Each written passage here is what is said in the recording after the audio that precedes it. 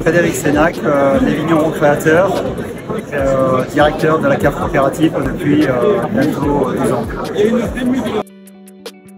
Parce que Vigneron engagé donc, répondait à un ensemble de, des, euh, des, questions sociétales euh, qui s'imposaient. Euh, L'association, par son dynamisme, par, donc, euh, l'ensemble des, des, caves qui la composent,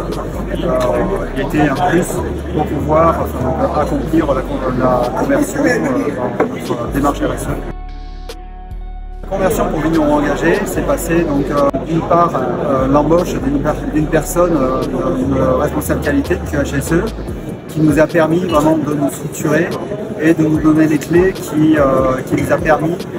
de donner le dynamisme qui était nécessaire au sein des équipes de la, de la coopérative, mais surtout au sein des vignerons, pour leur donner un sens à ce qu'est la RSE les projets à venir pour la, en termes de RSE, donc euh, après avoir euh, mis en place des photovoltaïques sur l'ensemble de, nos structures, euh, nous, avons engagé un vaste projet